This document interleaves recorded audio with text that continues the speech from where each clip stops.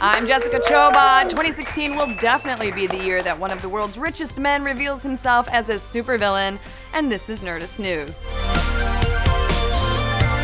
It's 2016, y'all, and welcome back with the International Consumer Electronics Show kicking off tonight. We're sure to get a glimpse of our mega high tech near future, but what's our real world Lex Luthor, Mark Zuckerberg, got up his sleeve this year? If you guessed coding a real life Jarvis, you would be correct. Yes, the boy genius tech wizard has announced his 2016 resolution, and it is to literally bring Tony Stark's AI butler into the real world. According to Zuck, my personal challenge for 2016 is to build a simple AI to run my home and help me with my work. You can think of it kind of like Jarvis in Iron Man. I'll start teaching it to understand my voice to control everything in our home music, lights, temperature, and so on. I'll teach it to let friends in by looking at their faces when they ring the doorbell. I'll teach it to let me know if anything is going on in Max's room that I need to check on when I'm not with her. Sounds cool!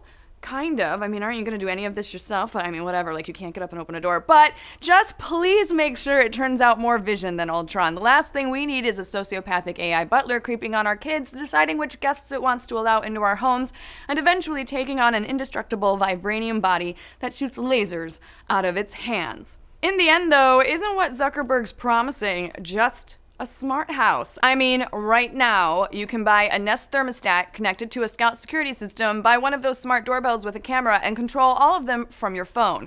It's cool that Zuckerberg wants to be able to shout commands at a single understanding AI, but what he's describing isn't that different from what's already available for a few hundred bucks. Maybe what the Zuck really needs to be focusing on is designing an Iron Man suit so when you rocket into the next Facebook press conference hovering over the crowd with hand-mounted repulsor jets, then we'll be impressed, Mark. In the end, though, it's honestly, it's still pretty cool. He plans to code the whole thing himself, more of a personal challenge than a big Facebook initiative, getting him back to his nerdy roots. But what do you guys think? Are you ready for your own AI butler that almost definitely observes and sells all of your personal information to the US government?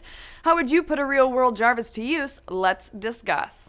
We're back with a full week of new episodes. I've got new hair again, but make sure you check out all the amazing stuff we did the last two weeks, including my blooper reel from 2015. It is, honestly, pretty amazeballs. For now, though, I'm gonna blast you with Iron Man repulsors.